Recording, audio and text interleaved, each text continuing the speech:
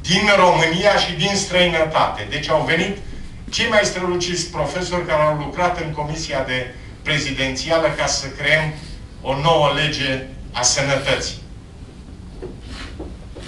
Aduceți-vă aminte când am vrut să o băgăm în Parlament, a ieșit povestea Arafat, în ianuarie 2012, au reușit să păcălească o țară întreagă, că nu avem nevoie de acea lege, pe niște motivații penibile că se vrea distrugerea smurdului. Sabotajul evoluției României este formidabil de puternic și v-am dat exemplu și ziua de miercuri, v-am dat exemplu ce s-a întâmplat și cu legea educației, vă dau exemplu ce se întâmplă și cu legea sănătății. O avem în Parlament din nou. Sper, nu mai sper în actualul Parlament, dar sper ca Parlamentul ce va fi ales la toamnă să înțeleagă că dreptul la sănătate trebuie asigurat și că nu mai putem rămâne într-un sistem de sănătate organizat pe model sovietic.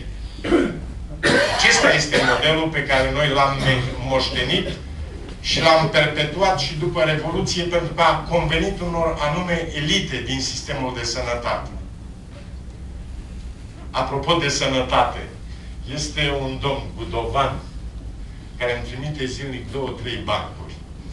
Ieri mi-a trimis unul de-am râs singur, le trimite pe mail. L-am spus și la Baia Mare, nu știu dacă a ajuns deja aici, da. că se duce la doctor și descrie bine și sistemul nostru de sănătate. Se duce la doctor un domn cu un cui în cap.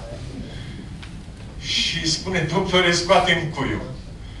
Doctorul îi spune, 200 de euro te costă, îți scot cuiul, te cost, într-o săptămână nu se mai cunoaște nimic. Doctore, n-am 200 de euro. Bine, atunci 100 de euro îți scot cuiul, dar nu te mai cos, îți dau cu niște tintură de iod și în 3 luni nu se mai cunoaște nimic. Doctore, n-am 100 de euro, dar am uh, asigurare de sănătate. Bine, atunci îți în doi cuiul să nu-ți scape pentru la